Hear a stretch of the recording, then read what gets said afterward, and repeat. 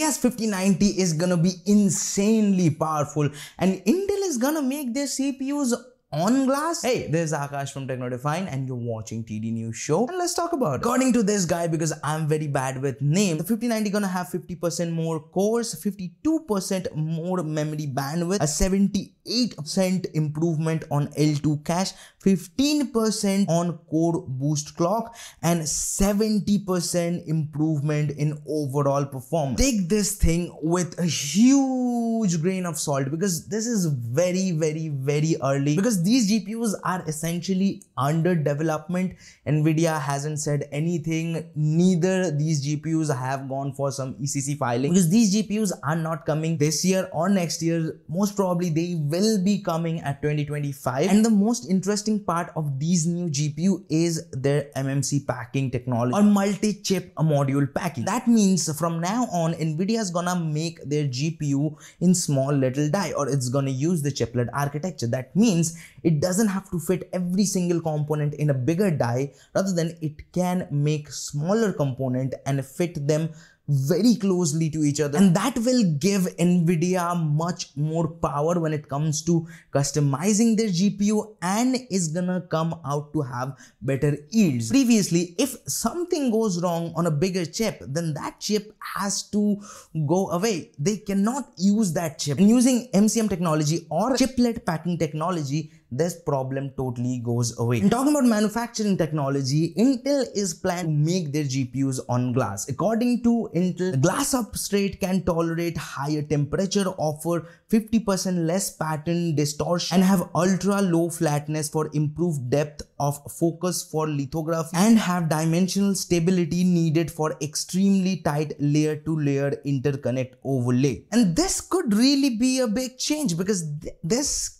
can make chip making process much more cost effective and can have better yields. And at the same time, Intel also announced they would be making chips for Qualcomm and Amazon's AWS service. And I have linked down the article if you want to know more alongside with all the sources for this video. Now Intel is also working on their Battlemage GPU according to a Linux driver update. Don't know too much about these Battlemage GPUs. It was previously rumored that these GPUs are coming and now this driver update kind of confirms it. Intel is also working on their next Lunar Lake CPUs which is supposed supposed to have their ARC architecture or ARC GPUs inside them. Now this XeLPG or their iGPU inside these new CPUs gonna have much better graphical performance. It is gonna be very similar to AMD's offering which can lead to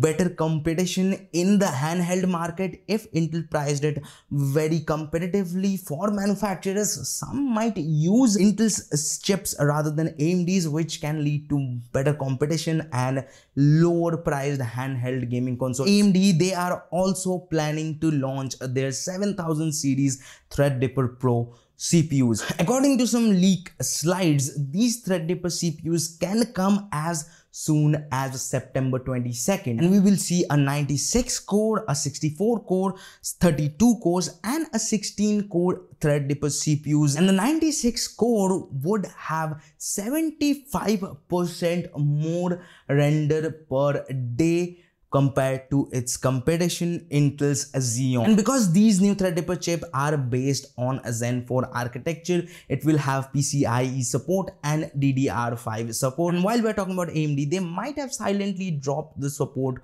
for their 50 uh, or 500 and 400 series GPUs. Now, love it or hate it, the 580 is still a very good GPU. It can still play modern games at a pretty digestible frame rate. Like it's not very good, but it's not that bad that you need to throw your computer out the window.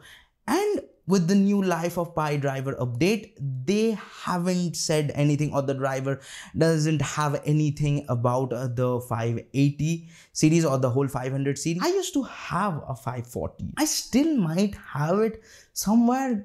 If you guys want to see how a 540 performs in nowadays let me know. It, it, it might make a very interesting video. The iphone 14 series are not really repairable friendly phones. If you crack your back glass you have to pay almost the half of the phone's price to fix it. New iphone 15 series are not like that. You can easily access the back glass and also the front glass. And the new repair cost is much lower. It's now 169 dollars which is still expensive because you are paying the Apple tax, but this time you're paying the less or a little less Apple tax. But on the other hand, Google just forgot that they also need to repair their products because according to Google, they can't fix the Pixel Watch. They, if you break your Pixel Watch's glass, the front glass, Google don't have spare parts to fix them. So if you have a Pixel Watch and you somehow broke it, it just becomes e-waste. And that's a big problem. Next generation Switch or the Switch 2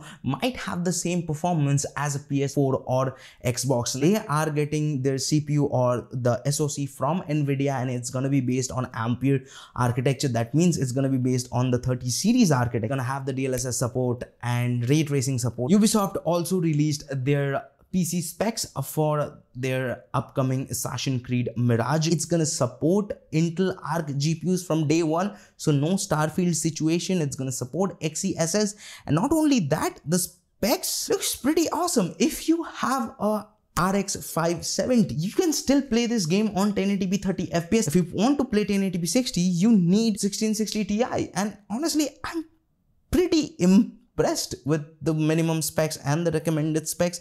And at the high end it doesn't need that much. Like if you want to play 4k a 3080 will be totally suffice. And honestly this this genuinely looks good. But there is one asterisk. We don't know that these configuration are with any upscaling technology or not. If it is with an upscaling technology let's say uh, the xeSS from intel well, my thoughts might change, and this might be a very misleading marketing, at least in my eyes. And in my eyes, this episode is ending. So yeah, this is it for this video. If you liked it, hit the like button. If you haven't, well, you can hit the dislike. Feel free to do it. And if you want to watch more videos from us, check out this video right here. And don't forget to subscribe right here. And there's Akash. And I'll see you guys in the next one. Peace.